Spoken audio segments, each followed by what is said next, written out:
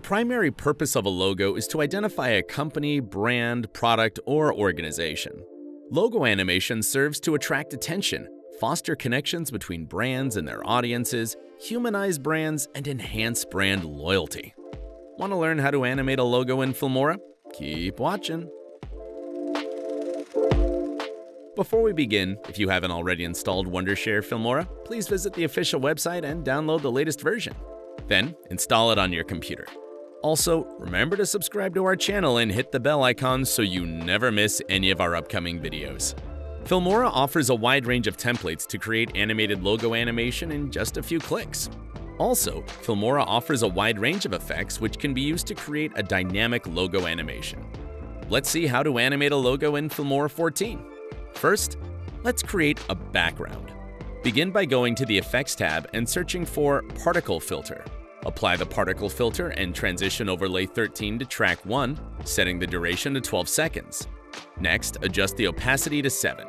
Then, apply particle overlay 7 and change its opacity to 13. First, place the logo on track and set its duration to 12 seconds. Next, go to the Effects panel and apply the basic 3D effect from the Basic Effects section. This effect allows you to rotate your video or logo 360 degrees.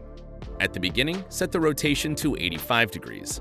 Then at 7 seconds and 20 frames, change the rotation to 0 degrees.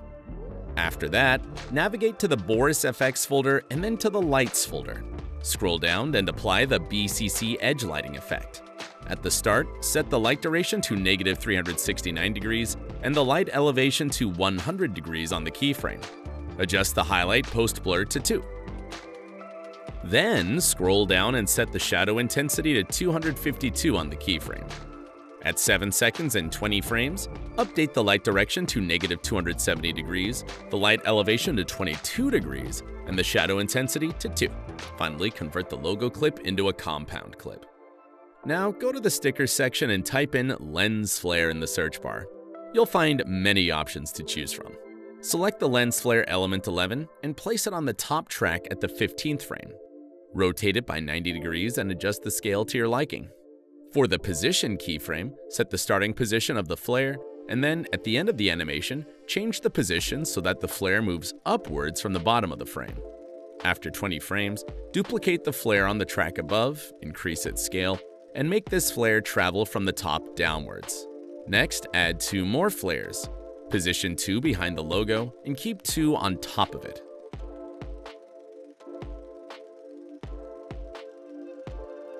Once again, go to the effects and search for Particle Filter. Apply Overlay 18 on the top track and set the opacity to 33. Then apply Overlay 15 and set the opacity to 60. First, apply the BCC Fast Lens Blur effect. Set the duration of this effect to 1 second and 5 frames, and create an iris keyframe. At the end of this duration, set the iris value to 0. Next, at the 8 second mark, add an opacity keyframe for all overlays. Then at the 9 second mark, set the opacity of all overlays to 0.